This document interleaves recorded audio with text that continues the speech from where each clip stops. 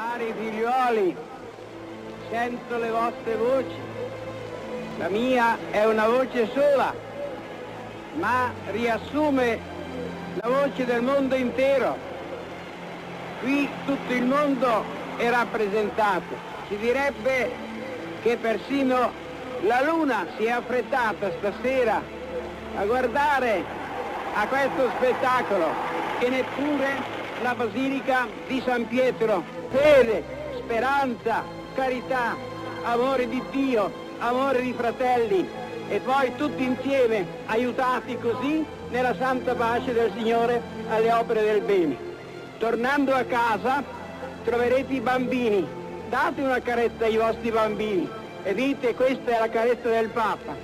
Troverete qualche lacrima da asciugare, dite una parola buona il Papa è con noi, specialmente nelle ore della tristezza e dell'amarezza.